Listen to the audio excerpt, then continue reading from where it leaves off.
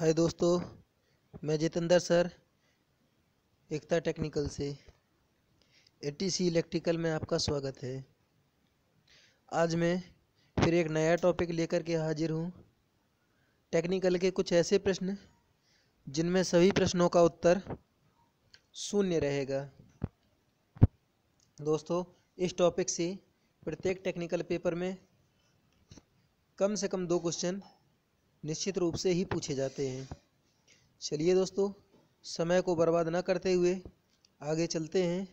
लेकिन एक बात दोस्तों याद रखना कि यदि हमारे चैनल पर आप नए हैं तो इसको सब्सक्राइब करना ना भूलना। और यदि आप पुराने हैं तो अपने मित्रों में शेयर करिए और उनको सब्सक्राइब करने के लिए बोलिए। दोस्तों, आपको केवल शेयर ही तो करना है और नए हैं तो सब्सक्राइब करना है। और यदि आप सब्सक्राइब करेंगे तो हमारा मोटिवेशन और ज़्यादा बढ़ेगा और हम आपको अच्छे से अच्छे वीडियो और नए नए टॉपिक लेकर के कंटिन्यू हाजिर होता रहूँगा, जिससे मैं आशा करूँगा कि आपका भविष्य उज्जवल हो और जल्दी से जल्दी आपको सफलता की सीढ़ी प्राप्त हो। चलिए दोस्तों, प्रारंभ करते हैं। यहाँ पहला क्वेश्चन है कि उत्कृष्ट गैसें जैसे रेडान है, जीनान है और नाइट्रोजन है, ये सभी जो गैसें उत्कृष्ट गैसें जो हैं, ठीक है, इनकी संयोजकता सदैव शून्य होती है। अगला क्वेश्चन है, जर्मन सिल्वर में सिल्वर की मात्रा शून्य परसेंट होती है, ठीक है जर्मन सिल्वर में सिल्वर की मात्रा शून्य परसेंट होती है तो जर्मन सिल्वर में अगर सिल्वर की मात्रा शून्य परसेंट होती है तो होता और क्या क्या इसमें मिश्रित होता है? तो दोस्तों देखेंगे कि जर्मन सिल्वर में याद रखेंगे कि क्या क्या मिक्स होता है तो हम लिखेंगे जर्मनी में, ठीक है, जर्मनी में ताज नहीं है। इसका मतलब है कि जर्मन सिल्वर में तांबा जस्ता और निकिल मिलाया जाता है। ता से तांबा जा से जस्ता और निकिल।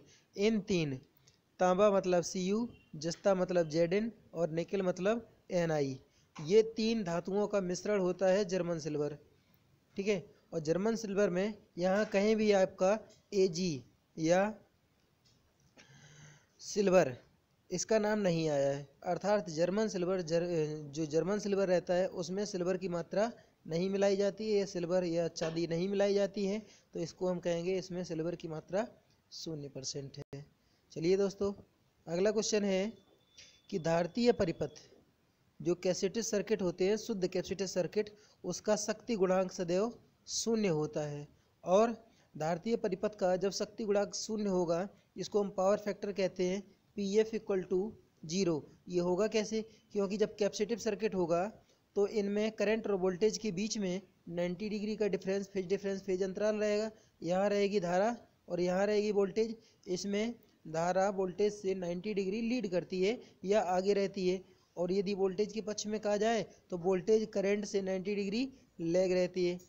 तो दोस्तों, जब हम कास फाई का रखेंगे मान, ठीक है कास 90 रखेंगे तो इसका वैल्यू हो जाएगा एक। अर्थात पावर फैक्टर इसका सॉरी इसका वैल्यू हो जाएगा शून्य। जो पावर फैक्टर होगा, वो शुद्ध धारतीय परिपथ का शक्ति गुणक शून्य होता है। यहाँ दोस्तों, शुद्ध धारतीय परिपथ का शक्ति गुणांक शून्य होता है। फिर लिखा है शुद्ध प्रेरकीय परिपथ। इसका भी शक्ति गुणांक शून्य होता है, क्योंकि शुद्ध प्रेरकीय परिपथ में जो फेजर डायग्राम बनेगा, वो कुछ इस हिसाब से बनता है। यहाँ पर आपका करंट रहेगा रिफरेंस में और वोल्टेज रहेगा ऊपर की तरफ़। वी एल यहाँ दोनों के बीच में जो डिफरेंस है, ये फ़ेज़ एंगल बनेगा 90 डिग्री का। ठीक है? तो यहाँ पर वोल्टेज करंट से लीड करती है, जबकि करंट वोल्टेज से लैग करती है। तो परिपथ बोला जाता है लैगिंग सर्किट ठीक है? या पावर फैक्टर यहाँ पर बोला जाएगा तो लैग बोला जाएगा। लेकिन कितना? ज़ीरो लैग जो शुद्ध प्रेरकीय परिपथ या शुद्ध धारतीय परिपथ कहेंगे तो शुद्ध प्रेरकीय परिपथ में जो पावर फैक्टर आपका पी एफ़ जो रहेगा P F equal to cos ninety degree बराबर ज़ीरो लेकिन ज़ीरो ये होगा क्या? लेग होगा कि लीड होगा? इसको हम ज़ीरो ज़ीरो लैग कहेंगे और कैपेसिटर में अगर जाएँगे तो उसको ज़ीरो लीड कहेंगे। चलिए दोस्तों, आगे देखते हैं। अगला पॉइंट है, शुद्ध धारतीय परिपथ में शक्ति शून्य होगी। तो शुद्ध धारती और शुद्ध प्रेरकी दोनों में एक ही बार में देख लीजिए। यहाँ पर दोनों के लिए फॉर्मूला होता है P equal to V I cos phi ठीक है? P equal to V I cos phi यदि पावर फैक्टर का मान शून्य है तो पूरा का पूरा शून्य हो जाएगा वी आई इंटू ज़ीरो तो संपूर्ण पावर आपका शून्य हो जाएगा। और दोनों परिपथों के लिए शक्ति का फॉर्मूला सेम होता है। तो दोस्तों, चाहे धारतीय परिपथ रहे, चाहे प्रेरकीय परिपथ रहे, दोनों के लिए शक्ति का मान शून्य होगा। अगला क्वेश्चन है, प्रारंभ में प्रारंभ में डीसी मोटर में विरोधी विद्युत भाग बल। जब मशीन को स्टार्ट किया जाता है तो बैक ईएमएफ इसका शून्य होता है। इसी के नाते जो डीसी मोटरें होती हैं, वो प्रारंभ होते समय अधिक धारा लेती हैं और इस अधिक धारा से बचाने के लिए डीसी मोटरों में हम डीसी मोटरों में स्टार्टर लगाते हैं। तो डीसी मोटरों में तीन प्रकार के स्टार्टर लगाए जाते हैं। पहला स्टार्टर होता है टू पॉइंट स्टार्टर, ठीक है? Two point starter. इस स्टार्टर को फेस प्लेट स्टार्टर भी कहा जाता है, ठीक है? Face plate starter. तो जो टू पॉइंट स्टार्टर होता है, इसको फेस प्लेट स्टार्टर भी कहते हैं। इसमें दो पॉइंट होते हैं। एक होता है थ्री पॉइंट स्टार्टर ठीक है? एक होता है फोर पॉइंट स्टार्टर ठीक है? फोर पॉइंट स्टार्टर जो टू पॉइंट स्टार्टर होता है, इसके द्वारा डीसी श्रेणी मोटर प्रारंभ की जाती हैं। थ्री पॉइंट स्टार्टर के द्वारा डीसी संट अथवा डीसी कंपाउंड मोटर स्टार्ट की जाती है। यही ये भी है। फोर पॉइंट स्टार्टर के द्वारा डीसी संट अथवा डीसी कंपाउंड मोटर प्रारंभ की जा सकती है। तो दोस्तों, यहाँ पर दिया गया है कि प्रारंभ में डीसी मोटर में विरोधी विद्युत भाग बल शून्य होता है। अगला है, तुल्यकाली मोटर का स्लिप शून्य होता है, क्योंकि तुल्यकाली मोटर के जो आर्मी जो स्टेटर के पोल होते हैं और रोटर के पोल होते हैं, दोनों पोल आपस में इंटरलॉकिंग होकर के साथ साथ गति करते हैं। या एक तरीके से हम कहेंगे, जो सिंक्रोनस मोटर होता है तो सिंक्रोनस मोटर की जो सिंक्रोनस स्पीड होती है एएनएस ये यन, या रोटर गति के बराबर होती है। जब ये दोनों गतियाँ बराबर रहेंगी तो स्लिप हमेशा शून्य निकलेगी। वो कैसे? तो स्लिप इक्वल टू होता है, S equal to N S minus N बटे एन एस। मतलब तो तुल्यकाली गति माइनस रोटर गति बटे तो तुल्यकाली गति। जब ये दोनों गतियाँ आपस में बराबर हो जाएँगी तो यहाँ हम एन एस रख सकते हैं। ठीक है? हम एक तरीके से कहेंगे एन एस एन एस बराबर एन जब ये दोनों गतियाँ रोटर गति और स्टेटर गति दोनों आपस में बराबर हो जाएँगी तो ये दोनों कैंसिल अर्थात ज़ीरो बचेगा तो स्लिप हो जाएगी तुल्यकाली मोटर के लिए शून्य, क्योंकि इसमें स्टेटर की गति और रोटर की गति जो होती है, वो दोनों की दोनों सेम होती हैं। सेम होने के नाते यहाँ पर तुल्यकाली मोटरों का जो स्लिप होगा, वो शून्य हो जाएगा। जैसे तुल्यकाली मोटर में, ऐसे ही तुल्यकाली प्रत्यावर्तक में। दोनों में सेम चीज़ होता है। फिर स्लिप का मान मोटरों में शून्य से एक तक होता है। एकदम बिल्कुल सही बात है। जो स्लिप होती है, जो स्लिप होती है, ये मोटरों में मोटरों में जो स्लिप का मान होता है, एक से और शून्य तक होता है। या हम कहेंगे शून्य से एक तक होता है। ठीक है? शून्य से एक के बीच। अर्थात ये मान हमेशा जो है, ज़्यादातर पॉइंट में रहता है। तो ज़्यादा से ज़्यादा इसका मान जो होता है, वो ज़ीरो पॉइंट ज़ीरो फोर होता है। ठीक है? स्लिप का मान ज़्यादा से ज़्यादा ज़ीरो पॉइंट ज़ीरो फोर ये सबसे ज़्यादा लिया जाता है अकाउंट में ठीक है? लेकिन याद रखना ये ज़ीरो से एक के बीच में स्लिप का मान हमेशा लिया जाता है मोटरों की कंडीशन में, मोटर के केस में। यदि आपका मोटर नहीं है, मोटर के स्थान पर जनरेटर है, ठीक है? तो जब जनरेटर है तो जनरेटरों में या जनरेटरों में स्लिप हमेशा ऋणात्मक होता है, ठीक है दोस्तों? याद रखेंगे जनरेटरों में जो जनरेटर होता है, उसमें स्लिप हमेशा, ठीक है? ऋणात्मक होता है। जनरेटरों में स्लिप हमेशा ऋणात्मक होता है। दोस्तों, ये थोड़ा सा मिस्टेक था। जनरेटरों में स्लिप हमेशा ऋणात्मक होता है। जब मशीन कोई मोटर ब्रेकिंग की कंडीशन में रहेगी या उसके ऊपर अचानक कोई ब्रेक लगाया जाएगा तो स्लिप हो जाता है टू माइनस यस तो स्लिप हो जाता है टू माइनस यस इस फॉर्मूले को याद रखेंगे। जब कोई मशीन ब्रेकिंग की पोजीशन में होगी तो उस समय स्लिप हमेशा टू माइनस यस होगा। या हम कह सकते हैं कि स्लिप का मान एक से दो के बीच होता है। चलिए दोस्तों, आगे चलते हैं। अगला क्वेश्चन यहाँ पर दिया गया है सी वी कॉमन बेस अब यहाँ पर बात आ गई आपकी एम्पलीफायर की। एम्पलीफायर का संयोजन होता है तीन प्रकार से।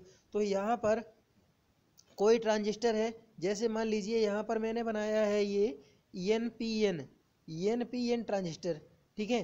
तो इसमें इस ट्रांजिस्टर में जिस साइड में आपका एरो लगा होता है, उसको इमीटर कहा जाता है। नीचे के साइड में जहाँ पर टी बनता है, उसको बेस कहा जाता है। अब एक शेष बचा, इसको कलेक्टर कहा जाता है। ठीक है दोस्तों? अब इस ट्रांजिस्टर को, क्योंकि इसमें तीन टर्मिनल है तो इसको तीन विधियों से जोड़ा जा सकता है। ठीक है? तो जिसको नीचे या ग्राउंड में कर दिया जाएगा, वही उसका, ठीक है, संयोजन कहलाएगा। तो यहाँ सी बी इसका मतलब है कॉमन बेस एम्पलीफायर परिपथ का फ़ेज़ परिवर्तन। तो common base common base amplifier common base का कंडीशन जब बनेगा तो होता है पोजीशन वहाँ पर ये। देख लीजिए थोड़ा सा दोस्तों। ये पोजीशन होता है, इसको जो है ग्राउंड कर दिया जाता है। ये पोजीशन होता है, इस साइड में लोड लगा देंगे, इस साइड में भी ये ये ऐसे बनता है ये। ठीक है कॉमन बेस का चित्र। तो यहाँ पर जब कॉमन बेस होगा तो यहाँ पर कॉमन बेस में क्या लिखा है? कॉमन बेस एम्पलीफायर परिपथ का फ़ेज़ परिवर्तन जो होता है, ये ज़ीरो डिग्री होता है। ऐसे ही कॉमन कलेक्टर तो कॉमन कलेक्टर की जब बात आती है तो कलेक्टर को ग्राउंड कर दिया जाता है, ठीक है? यहाँ पर बेस रहेगा, ये पोजीशन इसको ग्राउंड कर दिया जाएगा, और इस साइड में ये इमीटर निकल जाएगा। तो ये बेस हो गया, ये आपका कलेक्टर जो कॉमन कलेक्टर कलेक्टर को ग्राउंड कर दिया गया, और इमीटर इधर निकल गया, इधर बेस हो गया। ये पोजीशन है। तो यहाँ पर कलेक्टर को जब ग्राउंड किया गया तो इसको हम कॉमन कलेक्टर कहेंगे।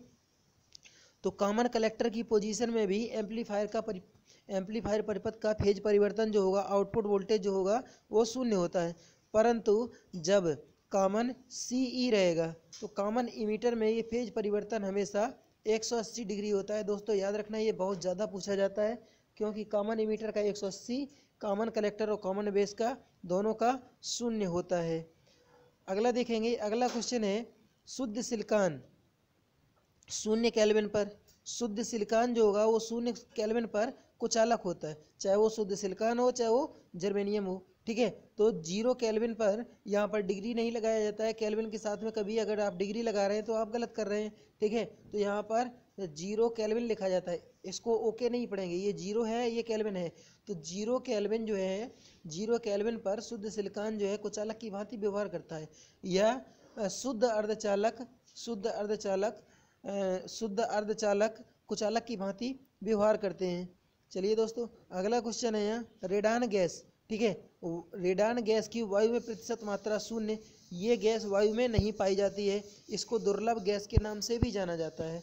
ठीक है ये गैस कब प्राप्त होती है? जब भूकंप आने वाला होता है, उस पोजीशन में इस गैस की अधिकता वातावरण में बढ़ने लगती है।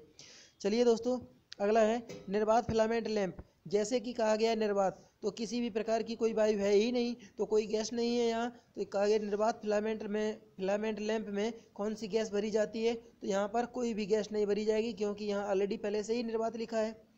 अगला क्वेश्चन दिया गया है पी मोटरों को एसी वोल्टता से जोड़ने पर, ठीक है, एसी वोल्टता से जोड़ने पर, पीएमएमसी मीटरों को एसी वोल्टता से जोड़ने पर इसका रीडिंग क्या रहेगा? शून्य आएगा, क्योंकि ये परमानेंट मैग्नेट मूविंग कॉयल ठीक है, ये हमेशा डीसी पर ही कार्य करते हैं और एसी की पोजीशन में इसको हम लगाएँगे तो इसकी ध्रुवता एसी की कंटिन्यू बदलती है, जबकि डीसी पर कार्य करने वाले जो इंस्ट्रूमेंट होते हैं वो औसत मान मापते हैं, जबकि एसी पर कार्य करने वाले इंस्ट्रूमेंट जो हैं वो ज़्यादा से ज़्यादा इंस्ट्रूमेंट ऐसे हैं कि जो आरएमएस मान मापते हैं। ठीक है दोस्तों, आगे चलते हैं। अगला है, किसी खोखले गोले के अंदर। ये क्वेश्चन कई बार पेपर में आया किसी खोखले के गोले के अंदर वैद्युत क्षेत्र शून्य होता है। तो वैद्युत क्षेत्र शून्य होता है, ठीक है? परंतु पोटेंशियल जो है, किसी भी खोखले गोले के अंदर प्रत्येक स्थान पर एक समान होता है, ठीक है? विभव जो होगा, ठीक है? गोले के अंदर विभव हमेशा एक समान होता है, परंतु वैद्युत क्षेत्र की अगर बात करेगा तो ये गोले के अंदर शून्य होता है, परंतु बाहर विभव होता है।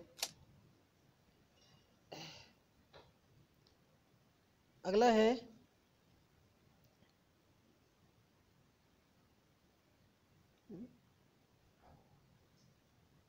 हो गया? पता नहीं। हम्म बंद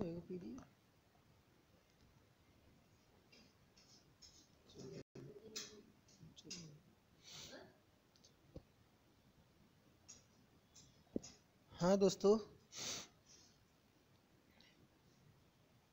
देखिए, यहाँ अगला है संधारित्र। जब कैपेसिटर है, शॉर्ट सर्किट हो जाए तो शॉर्ट सर्किट कैपेसिटर को ओम मीटर के द्वारा अगर मापा जाए तो इसका रीडिंग सदैव शून्य आएगा।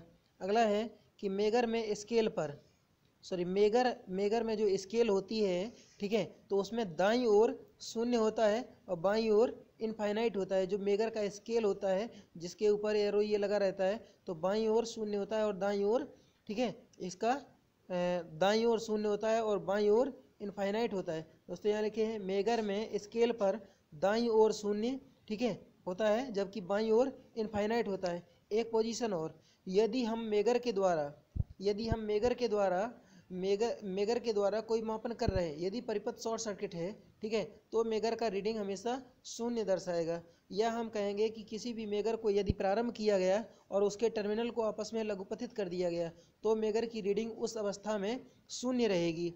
ठीक है? मेगर को हमेशा 160 160 आरपीएम पर चलाना चाहिए। मेगर दो प्रकार के होते हैं, एक होता है एनालॉग, ठीक है? और एक होता है ट्रांजिस्टराइज्ड। ट्रांजिस्टराइज्ड मेगर में हैंडल नहीं होता है, जबकि एनालॉग जो ट्रांजिस्टर होता है, उसमें हैंडल होता है। इसके अलावा एक और होता है, जिसको हम डिजिटल मेगर कहते हैं। ठीक है दोस्तों? आगे चलते हैं। अगला लिखा गया है, एक, डीसी आदर्श जनित्र का रेगुलेशन। तो रेगुलेशन जो होता है, ये V V output minus V input ये चीज़ होता है। ठीक है? V output minus V input या आउटपुट वोल्टेज और इनपुट वोल्टेज का जो डिफरेंस होगा वो हमेशा शून्य रहेगा ठीक है? आदर्श की अवस्था में। तो आदर्श की अवस्था में कोई ए, मतलब इनपुट और आउटपुट में कोई विशेष डिफरेंस नहीं होता है। तो यहाँ अगला दिया गया है आदर्श ट्रांसफार्मर का रेगुलेशन कोई भी ट्रांसफार्मर रहेगा मोटर रहेगा जनरेटर रहेगा इनका सबका आदर्श की स्थिति में शून्य होता है रेगुलेशन ठीक है? अगला लिखा है तुल्यकाली मोटर और तुल्यकाली जनरेटर क्योंकि ये भी, इनमें भी जो स्पीड जो होती है, ये एन एस सिंक्रोनस स्पीड या तुल्यकाली गति जो होती है, रोटर गति के समान होती है, बराबर बराबर। तो इसमें भी संभव है कि इसका भी रेगुलेशन हमेशा शून्य रहेगा। चलिए दोस्तों, आगे चलते हैं। अगला पॉइंट यहाँ है, तुल्यकाली मोटर का रेगुलेशन शून्य होता है। जनरेटर का ऊपर लिखे थे, वही पॉइंट है। अगला लिखा है, आदर्श एमीटर का आंतरिक प्रतिरोध शून्य। आदर्श जो एमीटर होती है, होता है, इसका आंतरिक प्रतिरोध शून्य होता है। क्योंकि आदर्श एमीटर में हम मोटे तार और कम प्रतिरोध वाला आदर्श की पोजीशन में कहेंगे तो इसमें जो तार उपयोग में लाया जाता है, इस तार का रजिस्टेंस नहीं होता या नगड़े प्रतिरोध वाला तार उपयोग में लाया जाता है। दोस्तों, आदर्श एमीटर में जो वायर जो उपयोग किया जाता है, जो तार उपयोग किया जाता है, ये मोटा तार होता है, इसका रजिस्टेंस नगड़े माना जाता है। और जो कुंडली जो बनाई जाती है, जो कुंडली बनाई जाती है, ये मोटे तार की होती है, ठीक है? तो जो, जितना ज़्यादा मोटा रजिस्ट, तार रहेगा, उसका प्रतिरोध उतना कम रहेगा। जब तार में मतलब तार बहुत ही ज़्यादा मोटा है तो उसमें जो आदर्श की स्थिति है तो आदर्श वायर यहाँ पर उपयोग लेंगे तो उसमें रजिस्टेंस जो है नगड़े माना जाएगा। ये काल्पनिक होता है, परंतु वास्तविक ये नहीं होता है। अगला दिया गया है यहाँ।